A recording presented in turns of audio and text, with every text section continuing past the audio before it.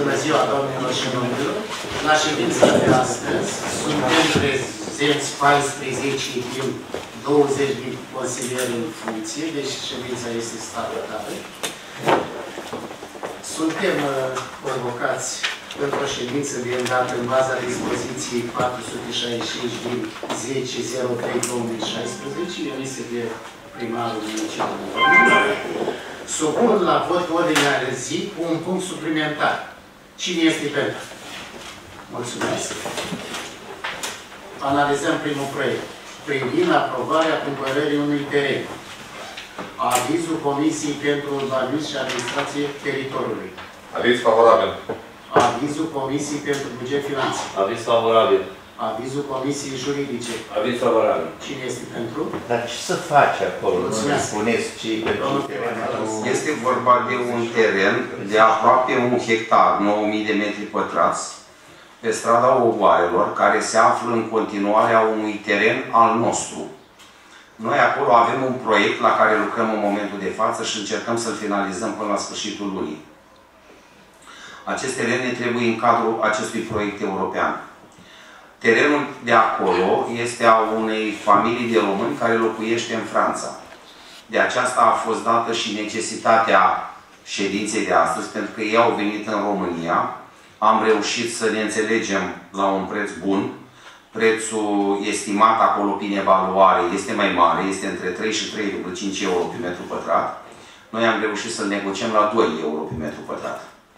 Uh, și se lipește la terenul care noi, noi îl avem acolo, un teren în jur de un hectar și o vreo 100. Deci împreună am avea două hectare compacte. În uh, spate, în dreapta, nu mai avem unde să mergem pentru că sunt terenuri a unor societăți comerciale care au deja instituții, care au deja întreprindere acolo. Deci singurul loc unde ne-am putea extinde este în această parte a acestui teren. Iar pentru că cei veniți uh, din Franța sunt în Roman, atunci am, și am reușit să cădem la înțelegere. Ei inițial, din poștă, au cerut 5 euro pe metru pătrat, ulterior 3 euro jumătate, pe urmă 2 jumate și am reușit să negociem la 2 ultima uh, discuție. Zicem noi că e un preț foarte bun și atunci am consolidat un teren acolo pentru primăria municipiului Roma, care se intre și într-un proiect pe care îl vom aproba, cred că, la ședința de la sfârșitul acestei luni. Despre asta este vorba. Mulțumim. Proiectul suplimentar. Da, Da, am supus, am supus. În unanimitate, da? Lămurile au fost Da, după, da, lămurile au fost după.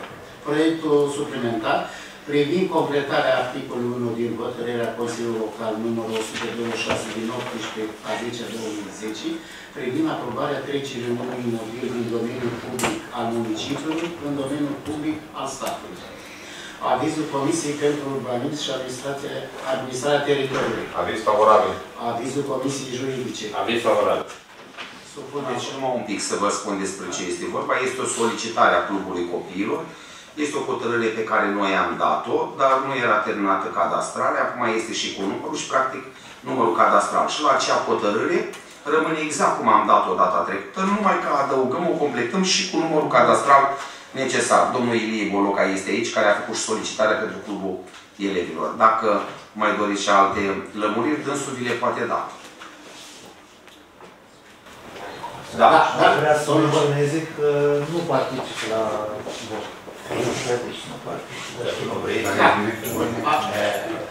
Da. Bun. Cine este pentru? Mulțumesc. În unanimitate. Declară închisă ședința. Vă mulțumim. Vă mulțumesc frumos că ați răspuns uh, solicitării noastre, dar v-am spus, urgența era dată de faptul că oamenii pleacă și noi trebuie să dăm să facă actul de vânzare-cumpărare ca să-și rezolvăm problema în timp util.